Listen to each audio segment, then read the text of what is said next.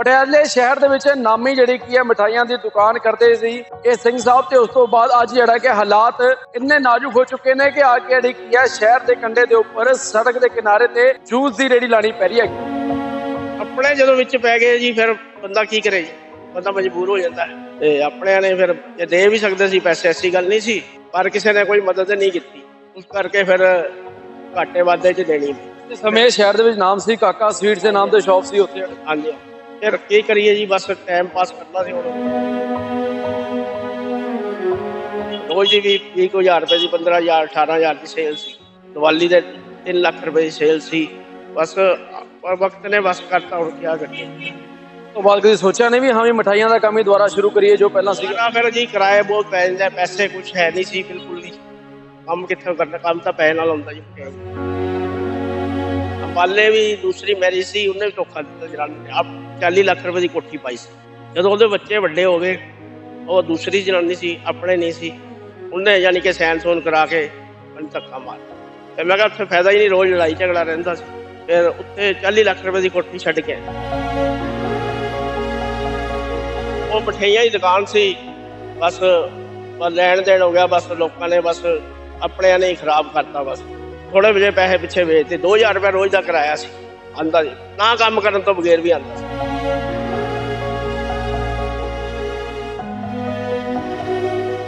ਰੋਜ਼ਾਨਾ ਸਪੋਕਸਮੈਨ ਦੇਖ ਰਹੇ ਹੋ ਤੇ ਮੈਂ ਹਾਂ ਪਟਿਆਲੇ ਤੋਂ ਤਰਨ ਟੁਕਰਾਲ ਪਟਿਆਲਾ ਦੇ ਵਿੱਚ ਅਕਸਰ ਤੁਹਾਨੂੰ ਅਲੱਗ-ਅਲੱਗ ਕਹਾਣੀਆਂ ਦੇ ਨਾਲ ਜਿਹੜਾ ਕਿ ਜੁੜਦੇ ਰਹਿੰਦੇ ਆ ਪਰ ਪਟਿਆਲਾ ਸ਼ਹਿਰ ਦੇ ਅੱਜ ਗੱਲ ਕਰਾਂਗੇ ਤਾਂ ਇੱਕ ਸ਼ਖਸ ਦੇ ਨਾਲ ਤੁਹਾਨੂੰ ਮਿਲਵਾਉਣ ਵਾਸਤੇ ਲਾਏ ਆ ਜਿਨ੍ਹਾਂ ਦੇ ਜ਼ਿੰਦਗੀ ਦੇ ਵਿੱਚ ਬਹੁਤ ਜ਼ਿਆਦਾ ਉਤਾਰ ਚੜਾਵ ਜਿਹੜੇ ਕਿਨੇ ਦੇਖੇ ਨੇ। ਅਕਾਲ ਪੁਰਖ ਸਾਹਿਬ ਕਹਿੰਦੇ, ਪਰਮਾਤਮਾ ਨੂੰ ਮੰਨਣ ਵਾਲੇ ਲੋਕ ਬੇਸ਼ੱਕ ਹਿੰਮਤ ਨਹੀਂ ਹਾਰਦੇ, ਪਰ ਹਾਲਾਤਾਂ ਤੋਂ ਮਜਬੂਰ ਹੋ ਕੇ ਕਈ ਵਾਰ ਇਹੋ ਜਿਹੇ ਕੰਮ ਕਰਨੇ ਪੈਂਦੇ ਆ, ਜੋ ਕਿ ਜ਼ਿੰਦਗੀ ਦੇ ਵਿੱਚ ਬੰਦੇ ਨੇ ਸੋਚਿਆ ਵੀ ਨਹੀਂ ਸੀ ਹੁੰਦਾ। ਪਟਿਆਲੇ ਸ਼ਹਿਰ ਦੇ ਵਿੱਚ ਨਾਮੀ ਜਿਹੜੀ ਕੀ ਹੈ, ਮਠਾਈਆਂ ਦੀ ਦੁਕਾਨ ਕਰਦੇ ਸੀ। ਇਹ ਸਿੰਘ ਸਾਹਿਬ ਤੇ ਉਸ ਤੋਂ ਬਾਅਦ ਅੱਜ ਜਿਹੜਾ ਕਿ ਹਾਲਾਤ ਇੰਨੇ ਨਾਜ਼ੁਕ ਹੋ ਚੁੱਕੇ ਨੇ ਕਿ ਆ ਕੇ ਜਿਹੜੀ ਕੀ ਹੈ ਸ਼ਹਿਰ ਦੇ ਕੰਢੇ ਦੇ ਉੱਪਰ ਸੜਕ ਦੇ ਕਿਨਾਰੇ ਤੇ ਜੂਸ ਦੀ ਰੇੜੀ ਲਾਣੀ ਪੈ ਰਹੀ ਹੈ। ਗੱਲਬਾਤ ਕਰਦੇ ਹਾਂ ਉਹਨਾਂ ਦੇ ਨਾਲ ਸਾਡੇ ਨਾਲ ਨੇ ਸਰਦਾਰ ਸਾਹਿਬ। ਸਰਦਾਰ ਸਾਹਿਬ ਕੀ ਨਾਮ ਹੈ ਜੀ ਆਪਣਾ? ਰਮਿੰਦਰ ਸਿੰਘ। ਕਾਕਾ ਗੰਦਰ ਜੀ, ਕਿੰਨੀ ਉਮਰ ਹੈ ਜੀ? ਮੇਰੀ ਅਹ, 52 52 ਸਾਲ ਹੋ ਗਏ। ਕਿੰਨੀ ਦੇਰ ਹੋ ਗਈ ਇੱਥੇ ਰੇੜੀ ਦਾ ਕਾਰੋਬਾਰ ਕਰਦੇ ਜੂਸ ਇੱਥੇ ਤਾਂ ਮੈਨੂੰ 5-6 ਮਹੀਨੇ ਹੋਏ। ਉਸ ਤੋਂ ਪਹਿਲਾਂ ਕਿੱਥੇ ਕਾਰੋਬਾਰ ਸੀ ਆਪਣਾ ਜੀ? ਬੱਸ ਸਟੈਂਡ ਤੇ ਸੀ ਜੀ। ਫਿਰ ਉਸ ਤੋਂ ਬਾਅਦ ਅੰਬਾਲੇ ਚਲੇ ਗਏ। ਅੰਬਾਲੇ ਵੀ ਦੂਸਰੀ ਮੈਰਿਜ ਸੀ ਉਹਨੇ ਵੀ ਧੋਖਾ ਦਿੱਤਾ ਜਨਾਨੀ ਨੇ। ਆਪ 40 ਲੱਖ ਰੁਪਏ ਦੀ ਕੋਠੀ ਪਾਈ ਸੀ। ਜਦੋਂ ਉਹਦੇ ਬੱਚੇ ਵੱਡੇ ਹੋ ਗਏ ਉਹ ਦੂਸਰੀ ਜਨਾਨੀ ਸੀ ਆਪਣੇ ਨਹੀਂ ਸੀ। ਉਹਨੇ ਯਾਨੀ ਕਿ ਸੈਨ ਸੂਨ ਕਰਾ ਕੇ ਮੈਨੂੰ ਧੱਕਾ ਮਾਰਤਾ।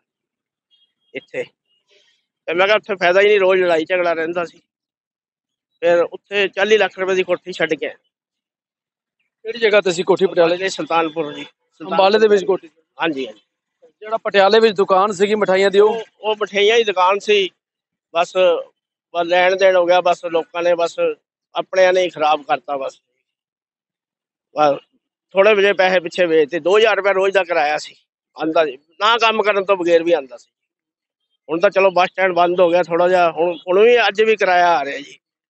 ਪਰ ਕੁਛ ਨਹੀਂ ਪੱਲੇ ਪਿਆ ਜੀ। ਪਰ ਹੁਣ ਟਾਈਮ ਕੀ ਕਰੀਏ ਜੀ। ਦੁਕਾਨ ਤੁਹਾਡੇ ਨਾਮ ਤੇ ਸੀ ਉਹ ਲਈ ਦੁਕਾਨ ਨਾਮ ਤੇ ਸੀ ਜੀ। ਕਿਵੇਂ ਵੇਚੀ ਕਿਵੇਂ ਤੁਸੀਂ? ਫਿਰ ਉਹ ਆਪਣੇ ਜਦੋਂ ਵਿੱਚ ਪੈ ਗਏ ਜੀ ਫਿਰ ਬੰਦਾ ਕੀ ਕਰੇ ਜੀ? ਬੰਦਾ ਮਜਬੂਰ ਹੋ ਜਾਂਦਾ। ਹੈ ਤੇ ਆਪਣਿਆਂ ਨੇ ਫਿਰ ਜੇ ਦੇ ਵੀ ਸਕਦੇ ਸੀ ਪੈਸੇ ਐਸੀ ਗੱਲ ਨਹੀਂ ਸੀ। ਪਰ ਕਿਸੇ ਨੇ ਕੋਈ ਮਦਦ ਨਹੀਂ ਕੀਤੀ। ਉਸ ਕਰਕੇ ਫਿਰ ਘਾਟੇ ਵਾਧੇ ਚ ਦੇਣੀ ਪਈ। ਇਸ ਸਮੇਂ ਸ਼ਹਿਰ ਦੇ ਵਿੱਚ ਨਾਮ ਸੀ ਕਾਕਾ ਸਵੀਟਸ ਦੇ ਨਾਮ ਤੇ ਸ਼ਾਪ ਸੀ ਉੱਥੇ। ਹਾਂਜੀ ਹਾਂਜੀ। ਕਾਕਾ ਸਵੀਟ ਦੇ ਨਾਮ ਤੇ। ਫਿਰ ਕੀ ਕਰੀਏ ਜੀ ਬਸ ਟਾਈਮ ਪਾਸ ਕਰਨਾ ਸੀ ਹੁਣ। ਫਿਰ ਮੱਲ ਉਥੋਂ ਜਿਹੜੀ ਜਨਾਨੀ ਸੀ ਦੂਸਰੀ ਉਹ ਵੀ ਥੋੜੇ ਬੱਚੇ ਪਰਾਏ ਸੀ। ਤੇ ਆਪਣੇ ਬੱਚੇ ਤਾਂ ਮਿਲਦੇ ਆ ਮੈਨੂੰ। ਮੇਰੇ ਕੋਲ ਕੁੜੀ ਵੀ ਆਂਦੀ ਆ ਮੁੰਡਾ ਵੀ ਆਂਦਾ ਜੀ। ਉਹ ਵੀ ਮਿਲਦੇ ਆ ਐਸੀ ਗੱਲ ਨਹੀਂ ਉਹਨਾਂ ਨੂੰ ਪਤਾ। ਹੈ ਤੇ ਉਹਦੇ ਨਾਲ ਪਹਿਲਾਂ ਵੀ ਤਲਾਕ ਹੋ ਗਿਆ ਸੀ। ਉਹ ਆਂਦਾ ਮੇਰੇ ਕੋਲ ਬੇਟਾ ਵੀ ਮੇਰਾ ਆਂਦਾ ਬੇਟੀ ਵੀ ਹੈ ਦੋਨੋਂ ਬੇਟਾ ਬੇਟੀ ਕੀ ਕਰਦੇ ਆ ਹੁਣ? ਵਿਆਹੇ ਭੈਣ ਜੀ ਉਹ ਉਹ ਸਟੋਰ ਮੈਨੇਜਰ ਹੈ ਜੀ ਮੁੰਡਾ ਮੇਰਾ। ਇਹ 22 ਨੰਬਰ ਫਾਟਕ ਮੋਕਾ ਰੈਸਟੋਰੈਂਟ ਤੇ। ਕਦੀ ਬੇਟੇ ਵੱਲੋਂ ਕਿਹਾ ਨਹੀਂ ਗਿਆ, ਆਪਾਂ ਕਿੱਥੇ ਆਪਾਂ ਦੁਕਾਨਾਂ ਦੇ ਮਾਲਕ ਸੀਗੇ ਤੇ ਹੁਣ ਛੋਟੇ ਸੀ ਬੱਚੇ, ਪਹਿਲਾਂ ਤਲਾਕ ਹੋ ਗਿਆ ਸੀ, ਫਿਰ 10 12 ਸਾਲ ਬਾਅਦ 10 12 ਸਾਲ ਉਹ ਦੂਸਰੀ ਜਨਾਨੀ ਰੱਖੀ। ਦੇਖੋ, ਉਹਨੇ ਮੈਨੂੰ ਧੋਖਾ ਦੇਤਾ। ਬਗਾਰ ਆਪਣੇ ਨਾਲ ਲਿਖਾ ਲਿਆ। ਇਹ ਲੋਨ ਤੇ ਹੀ ਸੀ ਤੇ ਬਣਾਇਆ ਸੀ। ਜੱਗੀ ਸਿਟੀ ਸੈਂਟਰ ਤੋਂ ਖਾਣੇ ਜਾਂਦੇ ਸੀ ਸਾਡੇ। ਲੱਖ, ਡੇਢ ਲੱਖ ਦਾ ਬਿੱਲ ਬਣਦਾ ਸੀ। 8-10 ਸਾਲ ਕੱਟੇ ਉੱਥੇ। ਹਰ ਮਹੀਨੇ ਖਾਣੇ ਦਿੰਦੇ ਸੀ, ਕੰਮ ਕਰਦੇ ਸੀ।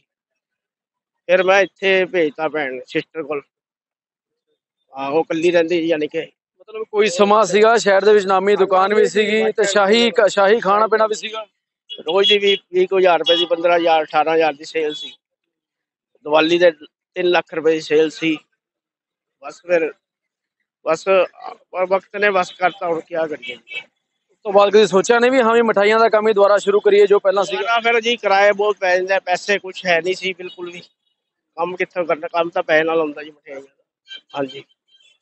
ਫਿਰ ਪੈਸੇ ਵੱਲੋਂ ਟੁੱਟ ਗਏ ਬਿਲਕੁਲ। ਕੁਛ ਸਾਰਿਆਂ ਨੇ ਧੋਖਾ ਦੇਤਾ। ਜਿਹੜੇ ਰਿਸ਼ਤੇਦਾਰ ਕਹਿੰਦੇ ਸੀ ਵੀ ਅਸੀਂ ਨਾਲ ਖੜਾਂਗੇ ਜਦੋਂ ਕਾਰੋਬਾਰ ਸੀਗਾ ਉਦੋਂ ਨਾਲ ਖੜ ਨਾਲ ਖੜਦੇ ਸੀ ਹੁਣ ਕੋਈ ਨਹੀਂ ਹੈ ਜੀ। ਪਹਿਲਾਂ ਆਉਂਦੇ ਸੀ ਜਾਂਦੇ ਸੀ ਸਭ ਕੁਝ ਸੀ। ਹੁਣ ਕੋਈ ਨਹੀਂ ਖੜਦਾ ਜੀ। ਕਿਤੇ ਨਾ ਕਿਤੇ ਰਿਸ਼ਤੇਦਾਰੀਆਂ ਪੈਸੇ ਦੀਆਂ ਰਹਿ ਚੁੱਕੀਆਂ ਪੈਸੇ ਦੀਆਂ ਰਹਿ ਗਈਆਂ ਜੀ। ਬਸ ਪੈਸੇ ਦੀ ਰਿਸ਼ਤੇਦਾਰੀ ਹੈ ਜੀ। ਰਿਸ਼ਤੇਦਾਰ ਨਹੀਂ ਹਿੱਸੇਦਾਰ ਹੈ ਅੱਜ ਹੁਣ ਗੱਲ ਕਰੀਏ, ਜਿੱਥੇ ਪਹਿਲਾਂ ਦੁਕਾਨ ਸੀਗੀ, ਵਧੀਆ ਕਾਰੋਬਾਰ ਸੀਗਾ। ਹਜ਼ਾਰਾਂ ਰੁਪਏ, ਲੱਖਾਂ ਰੁਪਏ ਰੋਜ਼ ਦੀ ਸੇਲ ਵੀ ਤੁਸੀਂ ਕਹਿੰਦੇ ਹੋ, ਤਿਉਹਾਰਾਂ ਦੇ ਨੇੜੇ ਹੁੰਦੀ ਸੀ।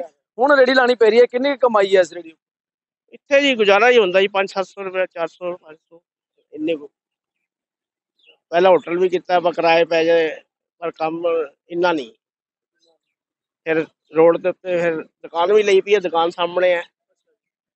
ਦੁਕਾਨ ਤੇ ਹੀ ਕਿਰਾਇਆ ਵੀ ਦੇਈਦਾ ਹੈ। ਸਮਾਨ ਰੱਖ ਦਈਦਾ ਨਾ, ਸਾਹਮਣੇ ਟਾਕੀ ਉਹਦੀ ਉੱਥੇ ਮਤਲਬ ਇੱਥੇ ਜਿਹੜੇ ਹੁਣ ਆਪਾਂ ਸਮਾਨ ਲੈ ਕੇ ਪਾਉਂਦੇ ਆ ਇਹਦਾ ਕਿੰਨਾ ਖਰਚਾ ਹੈ ਤੇ ਕਿੰਨੀ ਕਮਾਈ ਕਿੰਨਾ ਕੁ ਲੱਗਦਾ ਵੀ ਹਾਂ ਵੀ ਆਉਣ ਵਾਲੇ ਸਮੇਂ 'ਚ ਲੱਗਦਾ ਵੀ ਜਲਦੀ ਹੁਣ ਆਪਾਂ ਉਸ ਮੁਕਾਮ ਦੇ ਉੱਪਰ ਦੁਬਾਰਾ ਪਹੁੰਚ ਸਕਾਂ ਦੁਬਾਰਾ ਹੁਣ ਕੀ ਉਮਰ ਹੋ ਗਈ ਹੁਣ ਕੀ ਪਹੁੰਚਣਾ ਹੁਣ ਕੀ ਸੋਚ ਹੀ ਨਹੀਂ ਰਹੀ। ਹੁਣ ਤਾਂ ਪਰਮਾਤਮਾ ਦਾ ਹੀ ਹੈ ਬਸ ਕਰੋ ਭਰੋਸਾ ਸਾਹਿਬ ਉੱਤੇ ਜਾਗ ਜਾਣਗੇ ਭਾਗ ਜੋ ਸੁੱਤੇ। ਕਹਿ ਗਏ ਸਾਧੂ ਸੰਤ ਸਭ ਸਿੱਖਣ ਕੋ ਹੁਕਮ ਹੈ ਗੁਰੂ ਮਨਿਓ ਅ, ਮਕਾਨ ਆਪਣਾ ਜੀ? ਨਾ ਜੀ ਮਕਾਨ ਨਹੀਂ ਮਕਾਨ ਵੀ ਕਿਰਾਏ ਤੇ ਮਕਾਨ ਮੈਂ ਸਿਸਟਰ ਕੋਲ ਰਹਿ ਰਿਹਾ ਜੀ। ਹਾਂਜੀ ਉਹਦੇ ਕੋਲ ਕੋਈ ਨਹੀਂ ਮੇਰੇ ਜੀਜੇ ਦੀ ਵੀ ਡੈਥ ਹੋ ਗਈ ਸੀ ਭਾਣਜੇ ਦੀ ਵੀ ਹੋ ਗਈ ਸੀ। ਤੇ ਫਰਨੀਚਰ ਦਾ ਕੰਮ ਕਰਦੇ ਸੀ ਉੱਥੇ ਰਹਿ ਰਿਹਾ। ਹੁਣ ਬਸ ਟਾਈਮ ਪਾਸ ਹੀ ਕਰਨਾ ਜ਼ਿੰਦਗੀ ਵੀ ਸੋਚਿਆ ਨਹੀਂ ਹੁਣ ਵੀ ਹਾਂ ਵੀ ਕਦੀ ਇਸ ਕਾਰੋਬਾਰ ਨੂੰ ਤੇਜ਼ ਕਰਾਂਗੇ ਤੇ ਕੋਈ ਨਾ ਕੋਈ ਜਿਹੜਾ ਰੁਜ਼ਗਾਰ ਅੱਗੇ ਖੋਲਾਂਗੇ ਕੋਈ ਦੁਕਾਨ ਲਾਵਾਂਗੇ ਹੁਣ ਕਦੀ ਸਹਿ ਸੋਚ। ਹੁਣ ਮਹਾਰਾਜ ਗੱਲ ਤਾਂ ਪੈਸੇ ਦੀ ਹੈ। ਬੇਟੇ ਨਾਲ ਮੁਲਾਕਾਤ ਹੁੰਦੀ ਹੈ ਕਦੀ ਬੇਟੇ ਤੋਂ ਕਿਹਾ ਵੀ ਹੁੰਦਾ ਜੀ। ਬੇਟਾ ਤਾਂ ਕਦੀ ਲੋੜ ਪਵੇ ਜੋ ਮਰਜ਼ੀ ਦੇ ਜਾਂਦਾ ਜੀ 5-4000 ਹਾਂਜੀ। ਕੀ ਕਹਿਣਾ ਚਾਹੋਗੇ? ਕੋਈ ਪ੍ਰਮਾਤਮਾ ਤੋਂ ਨਾਰਾਜ਼ਗੀ ਕਿ ਰਿਸ਼ਤੇਦਾਰਾਂ ਦੇ ਕੁਝ ਨਾ ਕੁਝ ਚਿਹਰੇ ਸਾਹਮਣੇ ਆਏ ਨੇ? ਕੀ ਕਹਿ ਸਕਦੇ ਜੀ? ਹੁਣ ਇੱਕ ਟਾਈਮ ਪਾਸ ਕਰ ਰਿਹਾ ਬਸ। ਬਿਲਕੁਲ ਜੀ ਕਿਹਾ ਜਾਂਦਾ ਕਦੀ ਕਦਾਏ ਜ਼ਿੰਦਗੀ ਦੇ ਵਿੱਚ ਉਹ ਸਮਾਂ ਆ ਜਾਂਦਾ ਕਿ ਸਾਨੂੰ ਕੋਈ ਨਾ ਕੋਈ ਜਿਹੜਾ ਕਿ ਛੋਟਾ ਕੰਮ ਵੀ ਕਰਨ ਨੂੰ ਮਜਬੂਰ ਹੋਣਾ ਪੈ ਜਾਂਦਾ ਪਰ ਹਿੰਮਤ ਹੈ ਉਹ ਸਰਦਾਰ ਜੀ ਨੇ ਜਿਹੜੀ ਹੈ ਨਹੀਂ ਹਾਰੀ, ਕਿਉਂਕਿ ਪਰਿਵਾਰ ਦੇ ਵੱਲੋਂ ਕਿਹਾ ਗਿਆ ਵੀ ਧੋਖਾ ਦਿੱਤਾ ਗਿਆ ਸੀਗਾ। ਕਾਕਾ ਸਵੀਟ ਨਾਮ ਦੇ ਪਟਿਆਲਾ ਸ਼ਹਿਰ ਦੇ ਪੁਰਾਣੇ ਬੱਸ ਸਟੈਂਡ ਦੇ ਕੋਲ ਨਾਮੀ ਦੁਕਾਨ ਸੀ ਕਿਸੇ ਸਮੇਂ। ਹਜ਼ਾਰਾਂ ਰੁਪਏ ਰੋਜ਼ ਦਾ ਕਾਰੋਬਾਰ ਸੀਗਾ, ਤਿਉਹਾਰਾਂ ਦੇ ਨੇੜੇ ਕਹਿੰਦੇ ਨੇ ਹਜ਼ਾਰਾਂ ਦਾ ਕੰਮ ਹੈ ਉਹ ਲੱਖਾਂ ਦੇ ਵਿੱਚ ਹੀ ਪਹੁੰਚ ਜਾਂਦਾ ਸੀ, ਪਰ ਮੁਕੱਦਰਾਂ ਨੇ ਸਾਥ ਦਿੱਤਾ, ਰਿਸ਼ਤੇਦਾਰ ਜਿਹੜੇ ਸੀਗੇ ਹੁਣ ਅੱਜ ਕੱਲ ਹਿੱਸੇਦਾਰ ਬਣ ਗਏ ਨੇ, ਜਿਨ੍ਹਾਂ ਦੇ ਵੱਲੋਂ ਲਗਾਤਾਰ ਧੋਖਾ ਧੜੀ ਕਰਕੇ ਇਹਨਾਂ ਦੇ ਮਕਾਨ ਤੱਕ ਜਿਹੜੇ ਕਿਨੇ ਉਹ ਵੇਚ ਦਿੱਤੇ ਗਏ, ਤੇ ਹੁਣ ਜਿਹੜਾ ਕਿ ਮਜਬੂਰ ਹੋ ਕੇ ਉਹਨਾਂ ਨੂੰ ਸੜਕ ਦੇ ਕਿਨਾਰੇ ਉਹ ਜੂਸ ਦੀ ਰੇੜੀ ਲਗਾਣੀ ਪੈ ਰਹੀ ਹੈ। ਤਸਵੀਰਾਂ ਵੀ ਦੇਖ ਰਹੇ ਹੋ ਵੀ ਕਿਸ ਤਰੀਕੇ ਦੇ ਨਾਲ ਮਿਹਨਤ ਕਰਦੇ ਨੇ ਤੇ ਜੂਸ ਪਿਲਾਉਂਦੇ ਨੇ ਲੋਕਾਂ ਨੂੰ ਤੇ ਜਿਹੜਾ ਕਿ ਆਪਣਾ ਰੋਜ਼ ਦਾ ਜਿਹੜਾ ਕਿ ਹੈ ਖਾਣਾ ਪੀਣ ਦਾ ਖਰਚਾ ਜਿਹੜਾ ਕਿ ਉਹ ਇੱਥੋਂ ਕੱਢਦੇ ਨੇ। ਨਾ ਮਕਾਨ ਰਿਹਾ, ਨਾ ਦੁਕਾਨ ਰਹੀ ਹੈ, ਪਰਿਵਾਰ ਦੇ ਨਾਲ ਆਪਣੀ ਸਿਸਟਰ ਦੇ ਕੋਲ ਰਹਿੰਦੇ ਨੇ ਤੇ ਬੇਟਾ ਜਿਹੜੇ ਬੇਟੀ ਨੇ ਉਹ ਪਹਿਲੀ ਜਨਾਨੀ ਤੋਂ ਉਹ ਆ ਕੇ ਜਰੂਰ ਹਾਲ ਚਾਲ ਪੁੱਛਦੇ ਨੇ, ਪਰ ਰਿਸ਼ਤੇਦਾਰਾਂ ਨੇ ਕਹਿੰਦੇ, ਜਦੋਂ ਤੋਂ ਮੈਂ ਦੁਕਾਨ ਤੇ ਮਕਾਨ ਵੇਚੀ, ਉਹਨਾਂ ਨੇ ਪੁੱਛਣਾ ਕਰਨਾ ਵੀ ਜਿਹੜਾ ਉਹ ਬੰਦ ਕਰ ਦਿੱਤਾ। ਸੋ ਲਗਾਤਾਰ ਵੀ ਇਹੀ ਇਸ ਦੀ ਸਾਹਮਣੇ ਆਉਂਦੀ ਕਿ ਰਿਸ਼ਤੇਦਾਰ ਜਿਹੜੇ ਕਿ ਆਪਣੇ ਹੀ ਆਪਣੇ ਨੂੰ ਮਾਰ ਦਿੰਦੇ ਨੇ। ਸੋ ਉਸ ਦੀ ਜਿਹੜੀ ਵੱਡੀ ਮਿਸਾਲ ਹੈ ਸਰਦਾਰ ਜੀ ਵੱਲੋਂ ਦੇਖਣ ਨੂੰ ਮਿਲ ਰਹੀ ਹੈ। ਸਰਦਾਰ ਜੀ ਨੇ ਆਪਣੀ ਜ਼ਿੰਦਗੀ ਦੇ ਵਿੱਚ ਹੁਣ ਠਾਣ ਲੈ ਕੇ ਮਿਹਨਤ ਕਰਾਂਗਾ, ਖਾਵਾਂ ਤੇ ਪਰਮਾਤਮਾ ਨੇ ਚਾਹਿਆ ਤੇ ਦੁਬਾਰਾ ਉਹ ਮੁਕਾਮ ਜਿਹੜੇ ਕਿ ਉਹ ਹਾਸਿਲ ਹੋ ਜਾਣਗੇ। ਕੈਮਰਾ ਪਰਸਨ ਅਮਨਦੀਪ ਦੇ ਨਾਲ ਤਰਨ ਠੁਕਰਾਲ, ਰੋਜ਼ਾਨਾ ਸਪੋਕਸਮੈਨ ਪਟਿਆਲਾ।